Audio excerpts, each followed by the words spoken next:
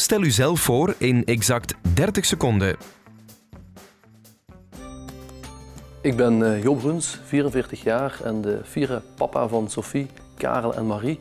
Mijn eh, belangrijke inspiratiebronnen elke dag opnieuw in de politiek.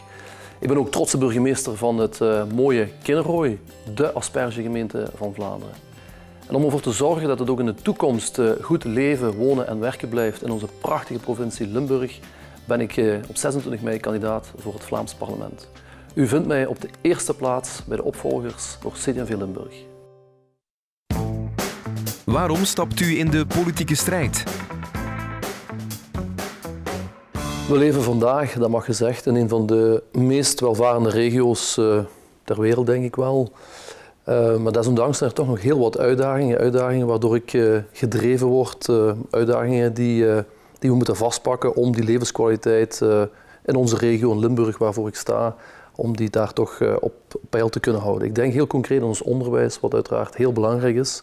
Vandaag stel je toch vast dat er in onze regio een, een heel duidelijk oorzakelijk verband is tussen het aanbod aan hoger onderwijs en de participatiegraad. Dus we moeten echt heel sterk blijven inzetten op dat uh, aanbod, voldoende kwaliteitsvol aanbod hoger onderwijs, om die participatiegraad bij jongeren hoog te houden. Een heel belangrijk thema dat, dat mij echt toch wel aanspoort om, om die handschoen op te nemen. De ontsluiting van onze prachtige regio. Limburg ligt als het ware in het middelpunt van, uh, van Europa.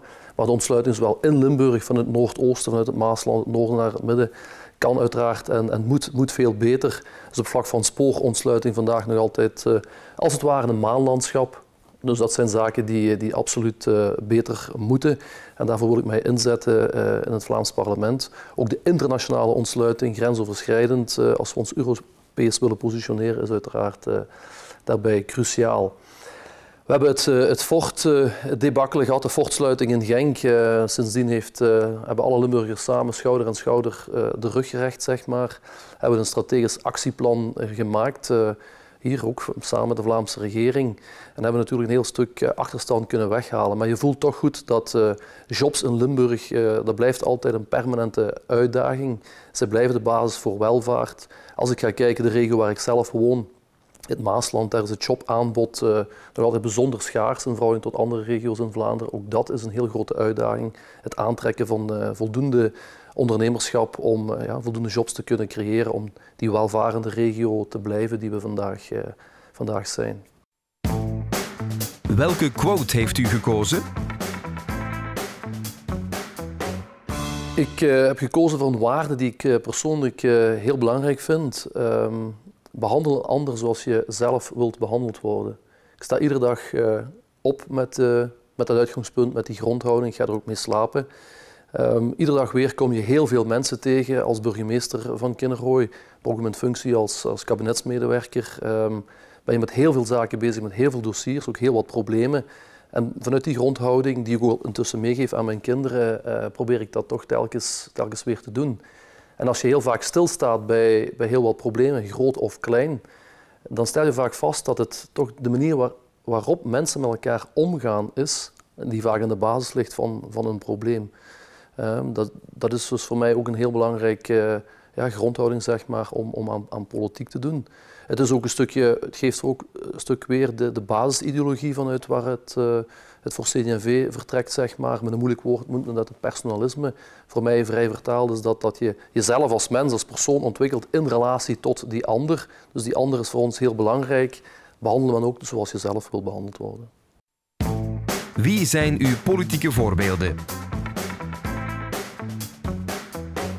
Ik heb toch wel twee uh, politici waar ik uh, altijd heel erg naar heb opgekeken. Enerzijds was dat uh, Jean-Luc Dehane en daarnaast Jo van Deurzen, een minister waarvoor ik het, voorrecht had om de voorbije tien jaar, eigenlijk de volledige duur van zijn ministerschap, begonnen op justitie, één jaar en dan nu tien jaar op, dus bijna elf, op tien jaar op, op welzijn.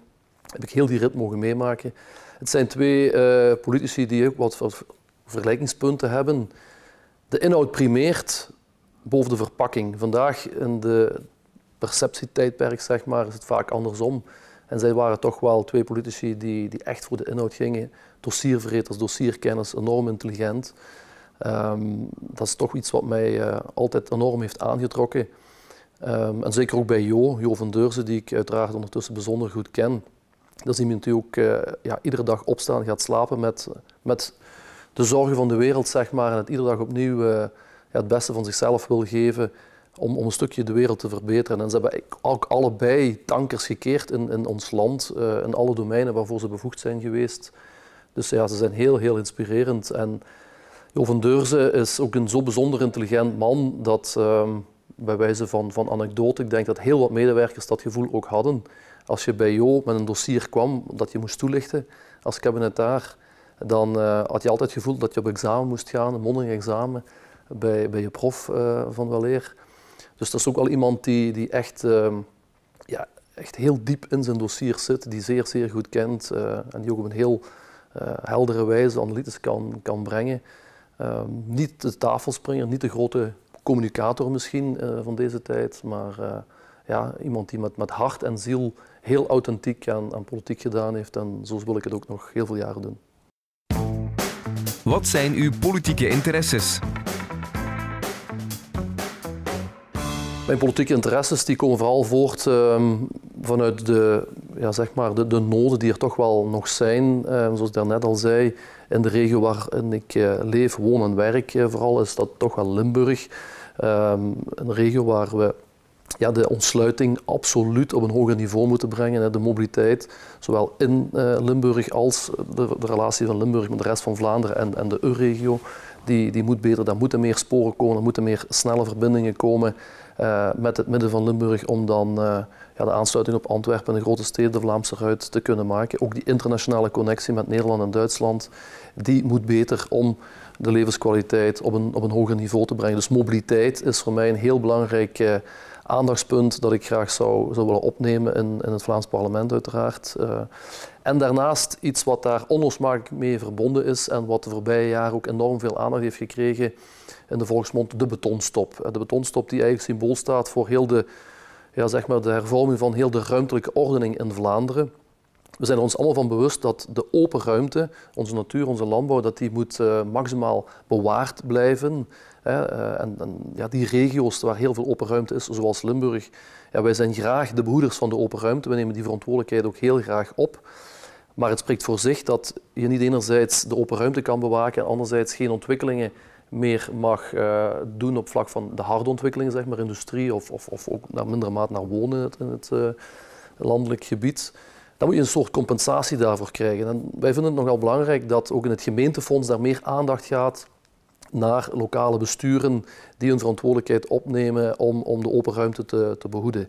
Maar de open ruimte zien wij ook als een, als een troef, hè, de relatie tussen de, de land- en en, onze, ons nationaal park, nog altijd het enige in Vlaanderen, en bijvoorbeeld toerisme.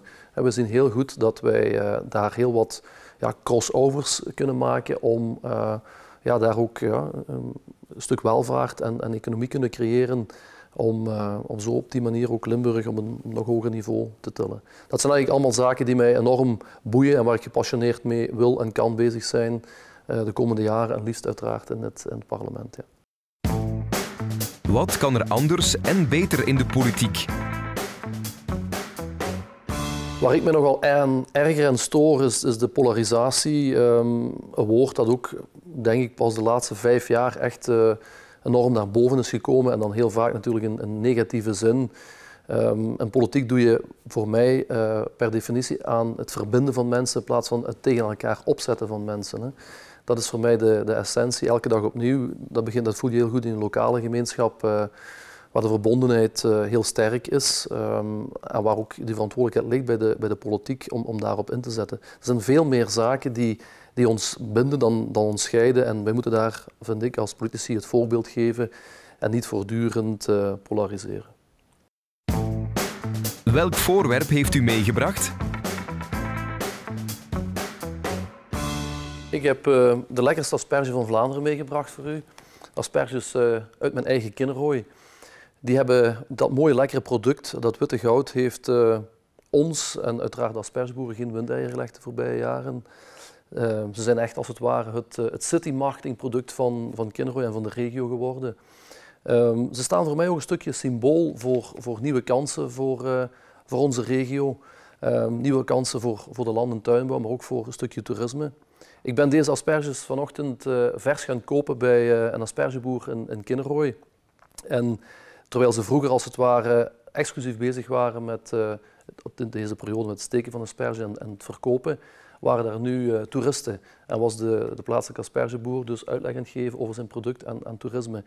Een heel mooi en heel eenvoudig voorbeeld hoe je, hoe je eigenlijk de relatie kan leggen tussen stuk toerisme en, en de land- en tuinbouw. En in, dat scharnierpunt, zeg maar, in, die, uh, dat kruispunt van die twee, daar liggen heel wat kansen voor onze regio. En daar moeten we echt uh, de komende jaren sterk op inzetten.